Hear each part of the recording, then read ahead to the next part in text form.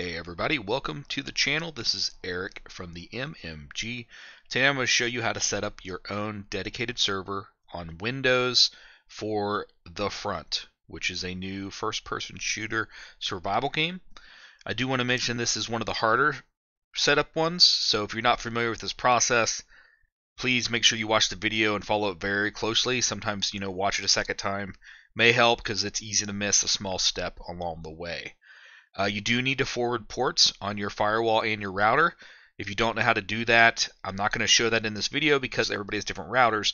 Your Windows firewall, though, I actually made a video. You can look for it on my channel, which will show you how to do it on that. But you do, most importantly, need to do it on your router. So you're going to have to, you know, Google some steps for whatever the model is of your router and how to forward ports because you're going to have to forward several ports to get this game to work. If you can't do that step, then nobody on the outside is going to be able to connect. So you're just going to kind of waste your time and get very frustrated. Trust me, I've been there and done that myself. So first things first, we're going to start on the dedicated server. So this is the machine that's going to run the server itself. That's how this whole video is going to work. This is not going to be you hosting and playing on the same machine. Um, that's actually built into the game itself, so you don't actually even have to do it that way. And we're going to use Steam CMD. So just go to your server like I have here, type in Steam CMD, hit enter, and right here should be the first link. And we're going to be downloading it for Windows right here, so click here. And then one more time, this little one is to download download it for Windows, so click that, and it should download for you, because there it is right there. Now you're going to want to extract it. I recommend you put this in an easy to find location for yourself. Um, I have mine directly on my C drive, and I created a little shortcut here that opens it up. So mine is on C drive, and I created a folder called Steam CMD. Once you extract it, there will be one file in here, I believe, and it's just called Steam CMD. That's normal if you've never used it before. Um, if you have used it, your folder will have a lot of stuff in it, like mine has. That's normal too. So just uh, go ahead and double click on it to execute it. If it's the first time, it's going to download a bunch of files and fill up your folder a little bit here. You do need to be an admin on this server too, by the way. I forgot to mention that. So make sure you're an admin. Um, otherwise, it, you're going to run into some problems. You, you might have to right click and tell it to run as an admin sometimes. It's so, but just being an admin directly logged in as an admin is the easiest way to do this. So once this is done downloading, you should be at a command prompt that is blinking that says Steam right here. So I've created a dot .bat to make this very easy, but I'm going to take you through the steps real quick. You just need to do login and then space anonymous hit enter, and it's going to log you in that way. Now you need to, to just do the game. So app underscore update space and then the ID for the game itself. All right, the number you want to enter is two six one two five five zero. And mine's already updated. If it, if you don't have it installed yet, it's going to start downloading all the files for the server. Alright, and once that's done, you can just type in exit to get out of there. So now, you should have in your folder back here, I'm going to go back a step, created a file called the frontupdater.bat. You want to edit that real quick, I'm going to show it to you. I also highly recommend Notepad++, it's free. Um, so this right here, what this does, it does all the steps we just did a second ago automatically for you. So this will quickly update your server. Um, I'll put this code in the video description so you can just copy it. All you need to do is make it into a file here, and it has to be in the folder where steamcmd.exe is, because um, that's just how I have it set up, so I don't have it pointing. So you just want to go new, you want to do a text document, and then like mine's called the front updater, front updater, and then you want to actually delete the dot .text, you want to make it a dot .bat, a dot .bat. And it'll ask if you're sure you want to do that, hit yes. Now, if, if yours doesn't do that and it says a dot .bat dot .text, that's because you need to go up here to View and turn on file name extensions right here. So put a check right here, and then you can edit, you can change it like I just did right there, nice and easy. All right, so once you have this and you have that code copied from my description in here, um, all you have to do is run it. So let me, I'm going to get rid of this one so I don't get confused. I'm going to run mine down here and watch. It's going to open a command. It's going to log me in anonymous like I just showed you to do manually, and then it's going to do an update. So it's pulling down the latest files for the server. And so, anyways, th- that's how you can update the server when they put out a new update or patch. So your files themselves, though, are going to be up here in a folder called Steam Apps. common, the front dedicated server right here. Also, do want to mention this game's kind of cool because it actually has some some files that you may be missing on your server here. It's got the DirectX update and .NET update and the visual update right here. So if you're getting some kind of weird error, make sure you run these updates to get to get your server updated to the latest version. Those are required. Um, you can get the .NET from the Windows updates, so you might already have that. But if you don't have the other ones, it's right there too, which is really nice. All right, so we're going to go back into the front dedicated server here.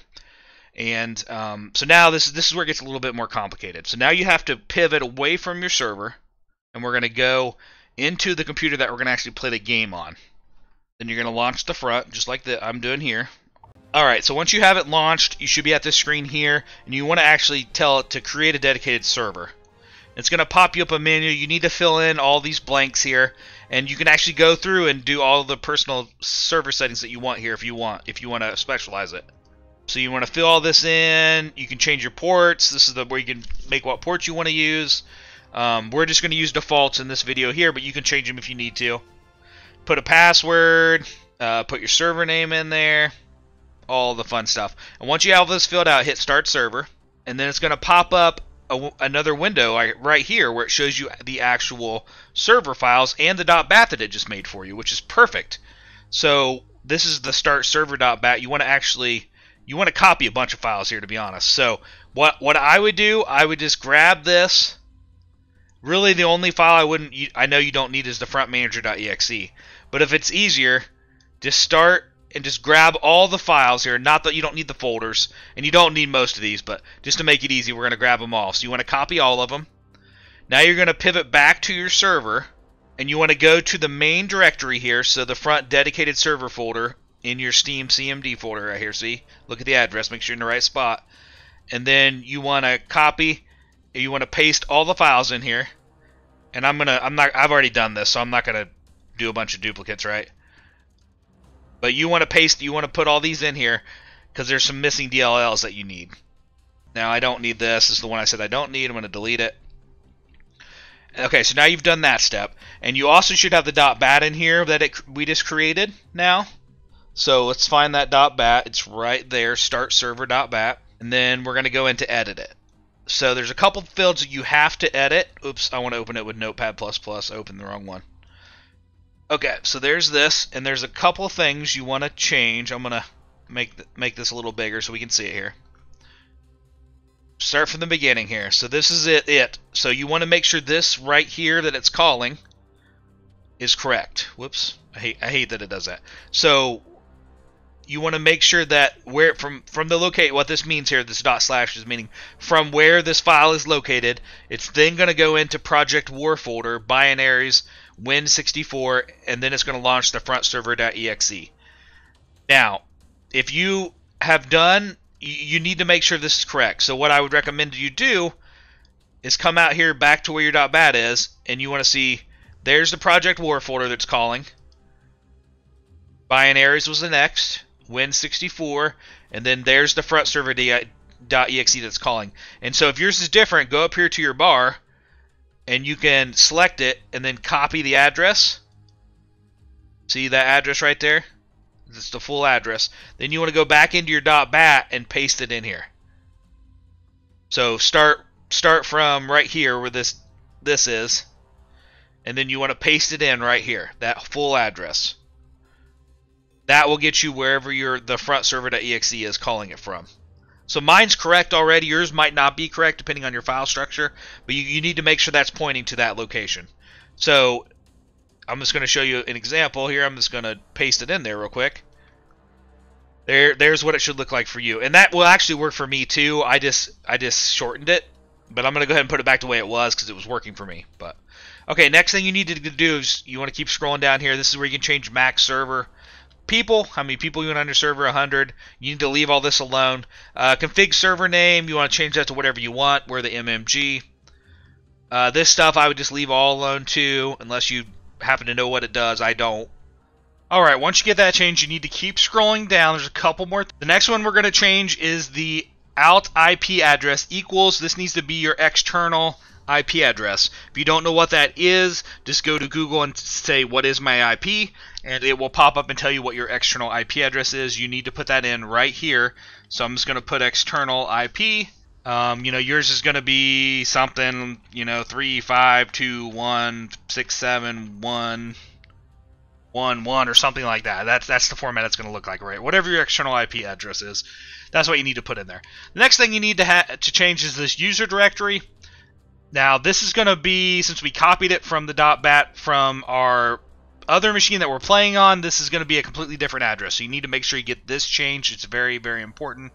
So what I recommend that you do is you create a directory in your C drive, Steam CMD, the front front manager, and then you just make this folder right here. And this can be anywhere. You can simplify. You can make it shorter. You can put it, you know, right inside the Steam CMD folder if you want. You just need to put the address in right here so it knows where it's going to save. So that's going to be where it saves the user information. All right, and then keep going down here. This is where you set your server password. So put in your password or whatever you want it to be, your server name right here. And at the very end, oh, your ports. Here are your ports. You can adjust if you don't want them default. Here they are. And at the very end is going to be, this should be already in there from when you made your first server. This should be your Steam UID or whatever it's called. GUID, I forget what they call it in Steam. But it's your number that's associated with your Steam account. And that's going to give you admin privileges on the server itself. So. Alright, once you have all those things changed, you want to make sure you hit File and Save As, right? You don't want to not save it and then you should be good to go to start your server.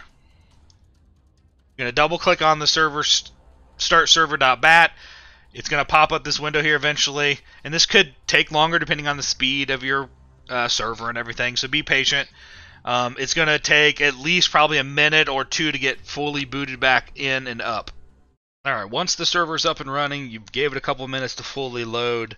Um, maybe a little bit longer, just depending on your system. Like I said, you want to open up the front back on the uh, the machine that you're going to play the game on, not on your server. And you want to click on the servers tab here. You want to click on dedicated server because that's what we made. And then you're going to want to search for whatever you named your server. Ours is the MMG. We're going to hit enter. There she is, the server that we made. I'm going to click on it. It's going to ask you to connect, put in whatever password that you set hit confirm, and you should be at a menu like this. And if you haven't created a character, this is what you want. You want to hit create, put your name in there and hit confirm, and there is your character. Now you hit the start button to load into the game. If you do happen to get an error when you're trying to create this, I had this happen to me. That just means your directory that you set up for the user folder, which I showed you, is not there. So you just, like I said, you need to go in there and create that if it's not there.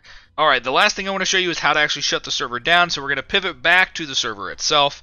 And you have this little command console here and it's showing you where, uh, you know, here it is. You just need to click in the window itself and then hit Control C. And you sometimes you have to hit it a couple times. I don't know why. I just hit it twice. And then you should see it start to initiate the shutdown and there it exited. That's how you properly shut down your server and it saves it beforehand and everything like that. So, alright, hopefully this video helped you. I would greatly appreciate if you'd hit that subscribe button that helps me keep growing the community here and keep making these videos. Thanks for watching and have yourself a great day.